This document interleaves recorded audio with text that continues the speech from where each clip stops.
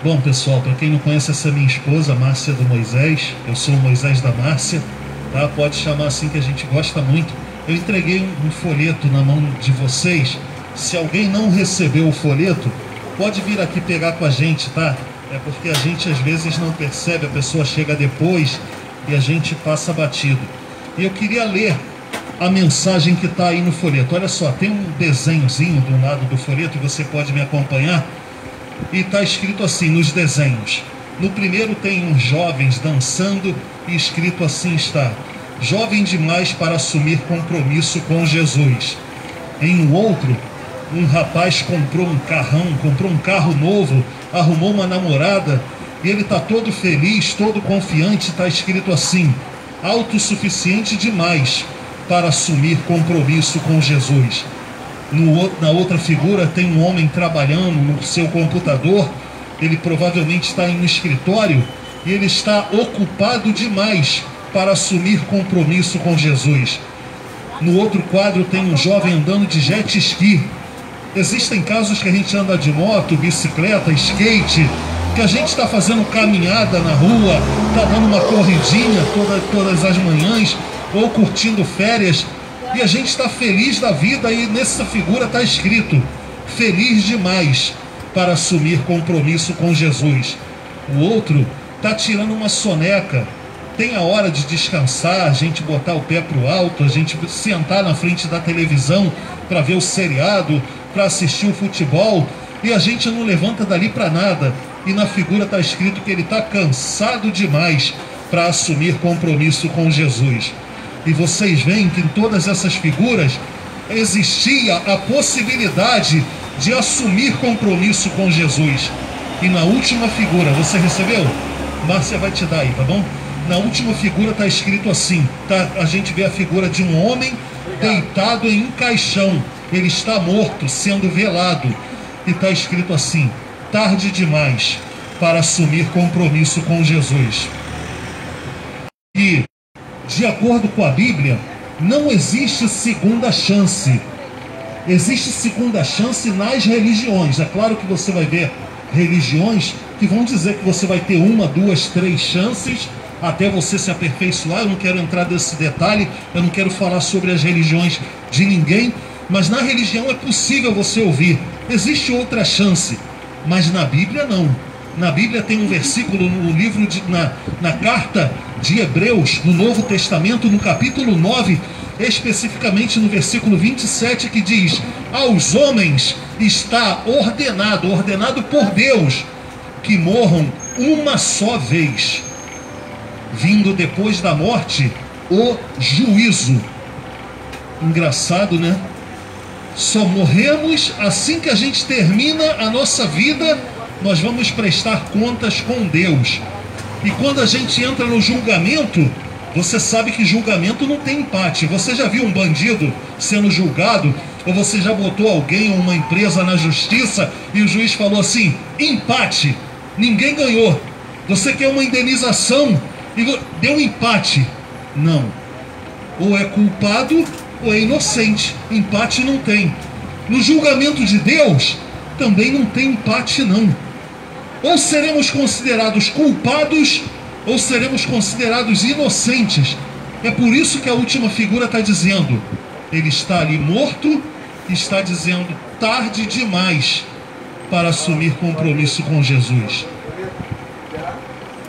Cláudio Duarte, um pregador que fala muito sobre casamento e família, talvez vocês já tenham ouvido falar, ele é muito engraçado.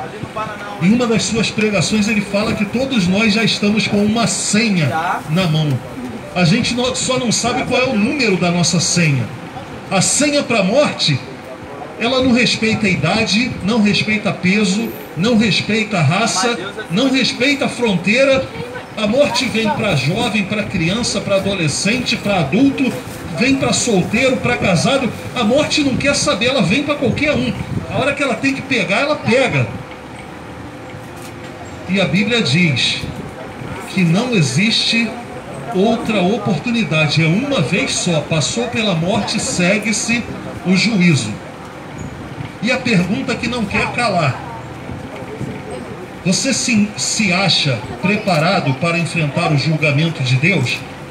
Você tem alguma ideia de como será enfrentar o julgamento de Deus? Você sabe o que vai dizer para Deus se você partir e chegar lá e prestar contas? O que, que você vai falar para Ele?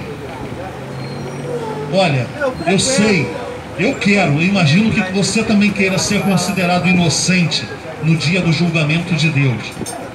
E só existe uma maneira de sermos considerados inocentes, justificados e salvos no dia do julgamento de Deus. Eu vou dizer para você: pecadores precisam se arrepender para serem aceitos por Deus. E a Bíblia diz que todos nós pecamos. Então, para sermos justificados no dia do julgamento de Deus, para sermos considerados inocentes, precisamos de arrependimento. Precisamos confessar a Deus que somos pecadores e que muitas vezes fazemos coisas que são contrárias à vontade dele para fazer a nossa própria vontade. E o próximo passo, assumir um compromisso público com Jesus. Olha, eu amo a Márcia, minha esposa. Eu, quando a gente se conheceu solteiro, eu me interessei por ela. E para Márcia ser minha esposa, pertencer a mim e eu pertencer a ela, eu tive que conversar com ela e falar com ela a respeito do meu interesse por ela. Márcia, eu quero ser seu namorado. Foi mais ou menos assim, foi mais romântico do que eu falei agora, não foi? Eu botei um melzinho, falei mais macio, tentei impressionar. Márcia, eu gosto muito de você, mais ou menos assim. E a Márcia acreditou, ainda bem que acreditou, me dei bem. E a gente começou a namorar. E a gente colocou uma aliança no dedo. Aqui minha aliança, ó, sinal de compromisso público, tá aqui, não tá escondido. Para aceitar Jesus, se você ama Jesus, quer estar com Ele para sempre, você precisa chegar nele e falar: Senhor, eu quero a tua salvação, o teu perdão, eu quero que o Senhor venha morar na minha vida, assim como eu fiz com meu namorado, com a minha namorada, com meu esposo, com a minha esposa, e assumir uma aliança com Cristo, recebendo-o seu coração como Salvador e Senhor pessoal. E você pode fazer isso agora mesmo, porque o mesmo Jesus que ouve orações na igreja, ele ouve orações na praça. O mesmo Jesus que salva pecadores na igreja, ele salva pecadores dentro do ônibus, dentro do carro, no seu local de trabalho, ele salva pecadores na praça da emancipação. O mesmo Jesus que ama a gente quando a gente está adorando na igreja, ele ama a gente aqui também, ele quer nos perdoar e salvar. E eu vou pedir a Márcia para orar mais uma vez, e vai orar por salvação, por perdão de pecados. E se você crê nisso e quer ser considerado inocente no dia do julgamento de Deus e quer assumir esse compromisso com a aliança com Jesus, mesmo com os olhos abertos, porque estamos em uma via pública, você vai falar no seu coração, no seu pensamento, pode até balbuciar debaixo da máscara, que ninguém vai nem perceber, não vai estar se expondo. O objetivo da gente não é expor ninguém, mas é trazer Jesus, o Salvador, para a nossa cidade, para as famílias, para as vidas da nossa cidade. Então a Márcia vai estar orando, peço a você que acompanhe, em nome de Jesus. Senhor Deus, Santíssimo Pai, queremos entregar as nossas vidas em Suas mãos, pois compreendemos que o que Jesus disse em Sua palavra, eu sou o caminho, a verdade e a vida, ninguém vem ao Pai senão por mim. Compreendemos que somente através de Jesus é salvação. E te pedimos, ó Pai, venha salvar a cada um de nós. Senhor, queremos nos arrepender dos nossos pecados e entregar as nossas vidas a Ti, pois compreendemos que somente através de Jesus a salvação, a libertação, a purificação de pecados, a restauração. Senhor, em nome de Jesus, venha morar em nossas vidas venha transformar o nosso interior, venha mudar quem somos, ó Pai. Te pedimos, salva essa nação, salva cada pessoa que nos ouve, fala ao coração, pois nossas vozes, a nossa palavra, vai até os ouvidos, mas é o Espírito Santo que leva até o coração, é o Espírito Santo que convence o homem de todo pecado. Senhor, então te pedimos, Senhor, fala a cada um de nós transforma, toca no coração e transforma as nossas vidas. Em nome de Jesus. Amém.